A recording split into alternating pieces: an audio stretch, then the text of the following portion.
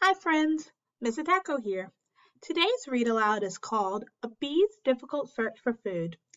It tells the story of a bee looking for flowers.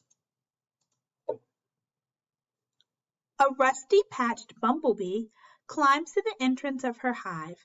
She is a scout. Her job is to find flowers for her family. They will eat nectar and pollen from the flowers. The hive is in a hole under the grass. There, worker bees tend to the queen and her eggs. Buzz, buzz! The scout starts to fly toward a field she remembers. Last year it was full of, of yummy wildflowers.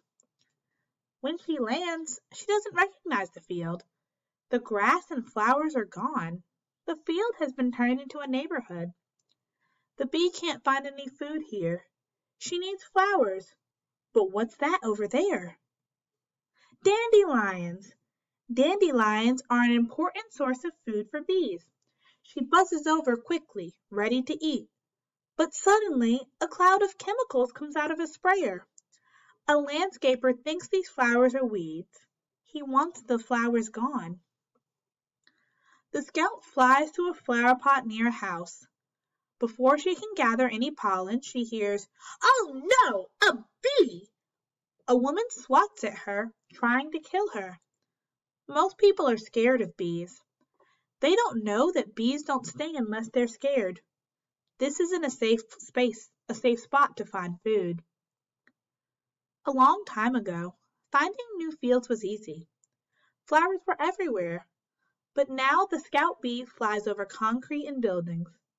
She searches and searches. Where are the flowers?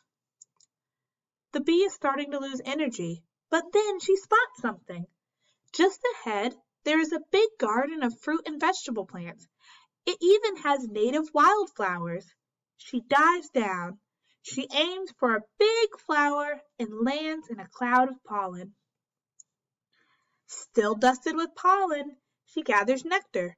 Then she hops to another flower and gathers some more nectar. Every time she lands on a new flower, she pollinates it. Flowers that have been pollinated will grow fruit and veggies. Now the gardener will have lots of food. Once she is full, she heads home. When she arrives, bees from all over the hive crowd around her. Then she starts to do a waggle dance. She wiggles and circles and turns. This is how she tells the other bees where the flowers are. The bees fly off to gather food. This hive was lucky. All over the world, though, animals that pollinate flowers are dying. If we don't feed these insects, they won't be around to pollinate the flowers to grow our fruits and vegetables. They need our help. Where rusty patched bumblebees live. Rusty-patched bumblebees live in small areas around the Great Lakes and eastern regions of the United States. Pollinators at risk. Animals that pollinate plants help fruits and vegetables grow. Without pollinators, we wouldn't have food like apples, squash, cucumbers, or even chocolate. Rusty-patched bumblebees aren't the only animals that pollinate plants, and they're not the only pollinators that are in danger. Butterflies, Moths, wasps, even bats and birds are all struggling with lost habitats. That means they're losing the areas where they live. Many government agencies and concerned citizens are helping by protecting pollinator habitats from mowing or chemicals. You can save bees.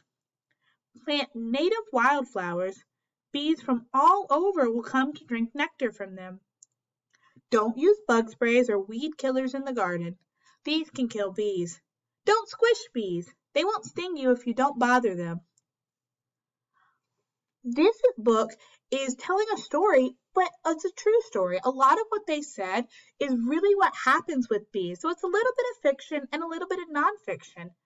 We know that nonfiction books sometimes have text features like our glossary over here. It tells us about landscaper, native, nectar, pollen, pollinate, scout, and a waggle dance. If you want to learn more, you can visit the website or read the books listed. I hope you enjoyed our read aloud.